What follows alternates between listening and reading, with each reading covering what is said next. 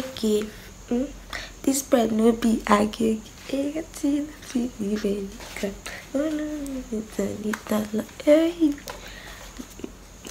hello you guys. Welcome back to my channel. If you're new here please do all to subscribe before you leave. Join our family. My name is rachel and i'm a student of the university of calabar living in calabar obviously. So yeah let's just dive right into the video. No time for long talk and that's on it period. That's on it period. So in today's video i'll be doing five advice for freshers coming into the university of calabar. So school is resuming i think for freshers on the 13th so i was like why not you know film a video telling them what they should do and what they should not do. I'm not like very perfect but at least i've spent like two years in unical so yeah i think i think i can i can do the job I, I can do the job. I don't know how i am sounding now but i'm filming this video at about 11 p.m i just woke up yeah so please pardon me if i am sounding off my normal way.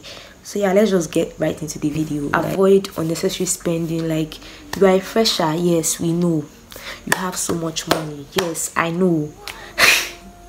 Anything you tell your mommy she will give you. Yes i still know. But i repeat but do not come to unical and spend your money foolishly. Please ask questions. Ask questions before you spend. Ask questions before you pay. Do not be too quick. Don't be first first first first it's not secondary school. They are not going to flog you if you don't do it first person. Yeah i'm not advising you to be like late for payments and stuffs like that so that they won't add like extra money on top because you know unical likes money. Ask that anyway. Unical likes money. So if you have extremely late they would add money to the thing you want to pay for. And that's on a period. Try and cook your meal. Do not spend. Don't do today? You go to this restaurant oh baby girl for life buy food buy food buy food buy food. Try and cook. Me i was not staying in the hostel but i am telling you that you should try to cook. Because even me that is not staying in the hostel when I resumed, I was into that attitude of buying meals instead of eating what was made at home. And I knew, Abi, I know what I spent. Like you come here, a meal that you're meant to maybe prepare with that about let's say 800 and eat it for like twice or three times. Yeah, you're a student. You go to that restaurant or the whatever fast food or restaurant and you will spend that money at a sitting in your mind you are doing big girl levels guy all of us we have been there we have been there oh don't let anybody deceive you we have all been there that's why i'm here. Mommy rachel is here to tell you the gist. Super purposes trust me you're gonna need it. Because once supper strikes once supper strikes you see the truth is our parents they try. You're going to be calling your mom here on a steady registration.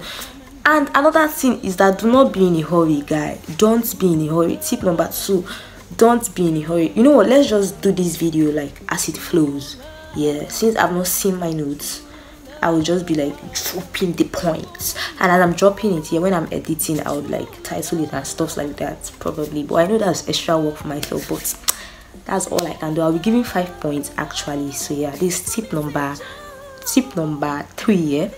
The first one was avoid unnecessary spending in the sense of all these um pay this pay this pay that pay this pay this pay that. In school calm down guy. Don't be in a rush. They are not doing competition here. Who is the first to pay? If you pay first it means you have money first. I was there. See oh your pocket is filled. We know. Baby i i don't know what my scarf is looking like guy. Like this video is just making me laugh. We know you have money yeah? Because obviously you're a fresher. You should have money. But don't come and show it to us. Like try it's not even for us safe because i'm just telling you as an advice try and prepare your meals at home. If you feel like having spag you prepare it.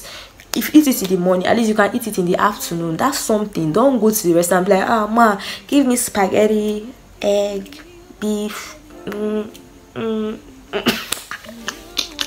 your money will finish. You see that money? Is gonna finish and trust me when it finishes your eye is gonna open. Academics like guy you came here for a purpose. That's for school. For school purposes do not forget what brought you to the university. You have been at home for a year some people for two years for some people for three years. If you are not a nigerian here this is how we do our admission process. After your your your your, your secondary school i think it should be called high school. Abroad you have to take what is known as JAMB JAMB is an examination board that determines how your tomorrow may be. JAMB is like an examination board. You take the exams and if you get a certain cutoff mark you come to the school and take the school's pursuit me or screening or whatever they do then they would add and divide and subtract and whatsoever. But i think it's add and divide subtract no foolish then it will determine if you will get that medicine and surgery you think is your dream or you are dreaming to study. So yeah that's it. Some people are unfortunate they stay at home for a year. Some people two years. Some people three years. Some people at will they be like oh i'm out of secondary school. Let me hustle you get. Some people not their choice. But anyway sha that one aside you are into the university now. After how many years? Some people were lucky enough. They came out from secondary school and boom you are in the university. Baby you have to shine your eyes. Like you are here for studying purposes. Don't come and be like feeling yourself. You now join a crew and you will now forget what brought you to school. You are going to fail that is the truth you are going to fail university is not a place where maybe your wicked teacher let, let me use for example Mr. Z, for instance, Mr. Z was a very wicked teacher for you in your secondary school, but innocently, all he wanted was the best for you, for you to study and come out with good grades in your secondary school. So he had the opportunity there to be chasing you around. Oh, favor, read your book, read your book, mm, read your book. In university, no one is gonna chase you, baby. The person that is gonna chase you is your mother. If you have to motivate yourself, do you understand? I don't know if you get what I'm trying to say, but yeah, you came to school for a purpose